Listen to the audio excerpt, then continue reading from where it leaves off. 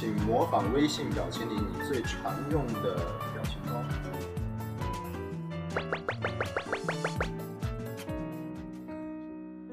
你的阿豆，我来讲，你来听，点赞越多，更新越快哦。今天我们继续来讲李易峰魔幻的高中故事下集。本期视频点赞过百，将于三日内更新下集。你中学时搞怪过吗？李易峰好像一直没有叛逆期，但调皮的事可嗨了去了。某天，李易峰和一个好朋友边聊天边吹牛，两个人突发奇想地跑进一家名车 4S 店，装模作样地摆出一副什么都没有就是有钱的嘚瑟劲，专挑贵的车试驾。销售人员一看这阵势。以为他们俩就是富二代，成都哪家地产大亨的贵公子，也许是峰峰的长相加深了这种误会。店员超乎寻常的热情，过完试驾的干瘾，临走还要开个空头支票，说明天就来提车，让人家等着。出门后两个人就狂笑，第二天顶着烈日换家店，继续假装富二代去过干瘾。部位最性感？哈，你们看不到的那个部位最性感。看不到。开什么车？我今儿没带驾照。除了恶作剧的快乐，在大街上溜达也不是无所收获。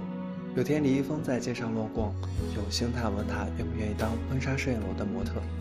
李易峰心想，电视里常常上演的情节，终于落到了自己身上。虽然别人被请去拍电影，自己是被拉去当婚纱摄影楼的模特，但好歹也迈出了成为明星的第一步。当时最火的电视剧《倚天屠龙记》，周芷若的扮演者是高圆圆，当时最火的女明星之一，是在1996年在肯德基吃鸡腿时被星探发掘拍广告。再过几年，同为国民四大流量明星之一的鹿晗，08年留学韩国时也被星探发掘了。几年后回国在饭圈掀起一片新风趣，理想很丰满，现实很骨感。李易峰从中学拍到大学，也仅停留在了模特。但却凭借自己的能力挣到了钱，第一笔收入就有两三千块，给全家人都买了礼物。转眼就到了高二分班的时候，理科成绩不太好的李易峰选择了文科，被分到了七班。文科班男生比较少，只有十五个。班主任陈雪梅调座位的时候，把稀有的男生分到每个大组，平衡下阴阳。但李易峰的座位比较特殊，前后左右都是男生。班主任硬是做了个金钟罩，把李易峰和其他女生隔离。其他女生的变化则是暗暗进行的。慢慢的，班里流行梳个歪辫子，女生们撒娇发嗲的声音也是越来越大。最明显的就是拖地的女生，每次都在李易峰的座位使劲拖，仿佛要把地拖穿。李易峰的定力一如既往，依旧是上课发呆，下课睡觉。我也不知道是具体在哪一个时间哪一刻，然后别人会这么夸我。呃，但你就是感觉每个女生看你的眼睛都色眯眯的，你就知道。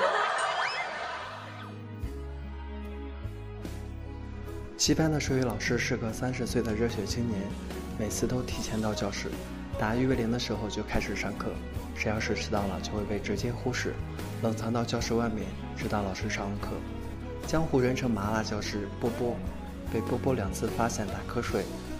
就会被去教室后面罚站，爱瞌睡的李易峰自然少不了被骂，结果就是李贺滚到后面去站起。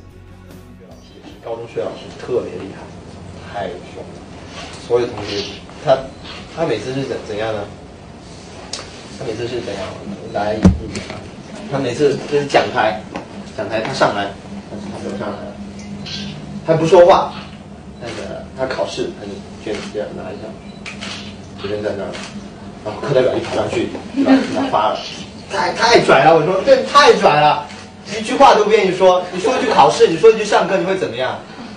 就这样，开始讲啊讲啊讲啊讲啊讲啊，然后有人不听专心听讲，他也不说话。很像写课感，他看到有人说话，我说太拽了太拽了，然后粉笔就发飞。我说太厉害了，老师，然后我。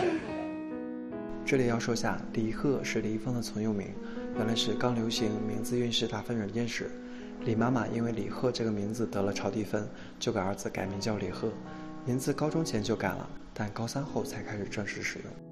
李易峰是个日久生情的人，还记得我们前几集视频中，李易峰喜欢的人都是平日里接触久的同班同学。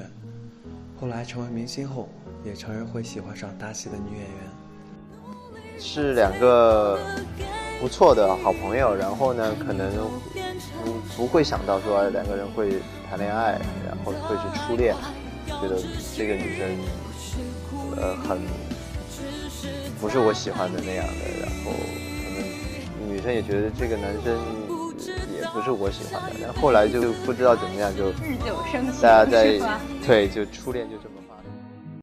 这次也一样，李易峰喜欢上了同班同学的大飞。李贺疯狂向大飞的闺蜜娇姐打听有关她的一切，她的家庭住址、手机号码、喜欢的颜色、讨厌的人、爱玩的游戏，甚至大飞每天上学的路线图都要给她画出来。最要命的是，晚上十二点的时候，李易峰还给娇姐家打电话，问她大飞喜不喜欢漫画，害得娇姐妈以为他在耍朋友。终于有一天，李易峰觉得时机成熟，上课的时候把娇姐的文具抢回去，然后神秘兮兮地说：“你等下把这个文具拿给他。”娇姐当时正听得专心，没有理他，随手把文具放在一边。下午放学，李易峰匆忙地找到娇姐，结果娇姐把事情搞忘了，李易峰只好自己去外面追大飞。晚上，娇姐回到家，拿出文具盒做作业，看到一张小小的纸条：“你愿意做 my BF 吗？”李易峰又是经典的英文告白，还把英文语法搞错了。第二天，娇姐看到李易峰和大飞一起进教室，就知道李易峰昨天告白成功了。关于告白，有句话说：“我喜欢你，就像是烟火升空，会在心里每一个小地方都绽放小小的烟花，在心里噼里啪啦的炸开。”好了，这就是明星纪录片李易峰系列的第五集。大学时普通到不起眼，拒绝参加快乐男生，加油好男儿李易峰让票事件。大学时期的李易峰到底发生了哪些有趣的故事呢？如果点赞过百，三天内更新哦！点赞越多，更新越快。